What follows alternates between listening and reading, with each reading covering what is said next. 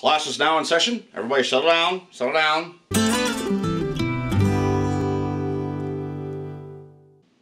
Hi, name is Steve Saylor. I am a few things online, but uh, I'll just give you the highlights. I'm a self-published author. I'm also a podcaster at uh, This Week in Geek, found at thisweekingeek.net. We've been podcasting for six and a half years. Since January 2007, we have over a thousand episodes, and we talk about everything geeky and nerdy.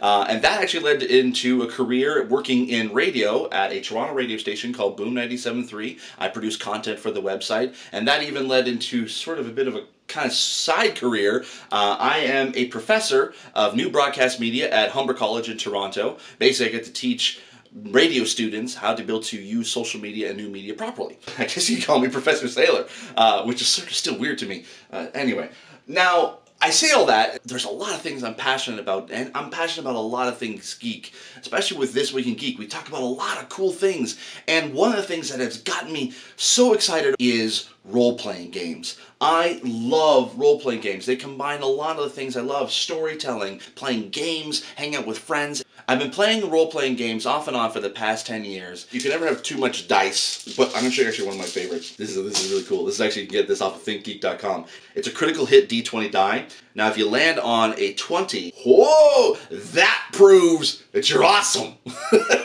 This past year, I created a show based on our podcast called These Warriors Are Terrible, where it's just me and my friends, and we record ourselves playing role-playing games. So today, I, I wanted to be able to vlog about my passion for role-playing games and just kind of start you off on the uh, essentials that you need in a role-playing household. And being a professor, I guess, I actually love to be able to kind of outline things, and um, but I don't, I don't think I'm dressed for the occasion. Um, hold on a second.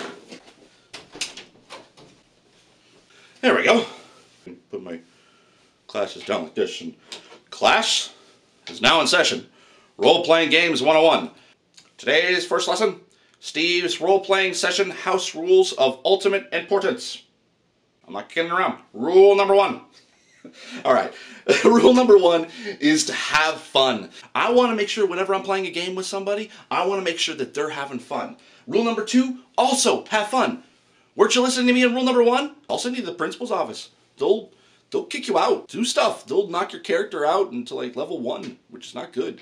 You don't want that to happen. Because if you're a mage, you can only cast one spell a day. That's that's terrible. You're gonna be useless to the party at that point. Just saying.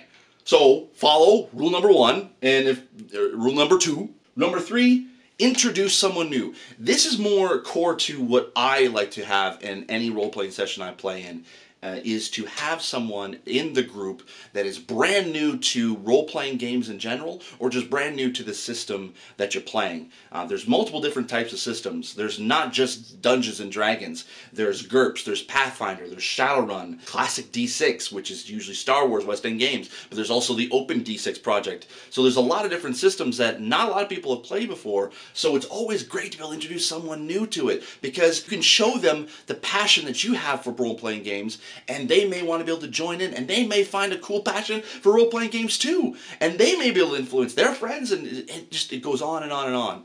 Rule number four don't rule nazi. This is what kills a lot of role-playing sessions because of arguments over specific rules. You're interrupting the flow of the game and it just is not fun a lot of people break uh, groups because of it. A lot of people are, are kind of separate from uh, role-playing games and they stop playing because of stuff like that. And number five, don't be afraid to ask questions.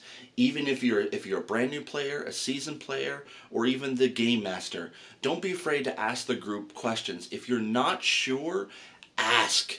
There's been many times I would play a game and I was so afraid to be able to ask a question of anybody because I would feel that that would be called stupid or I would be laughed at because I didn't know uh, a certain thing about a certain aspect of the game. It's not fun to be able to play a game if you're not allowed to ask questions if you don't know. So that's it for me. That's the end of the lesson.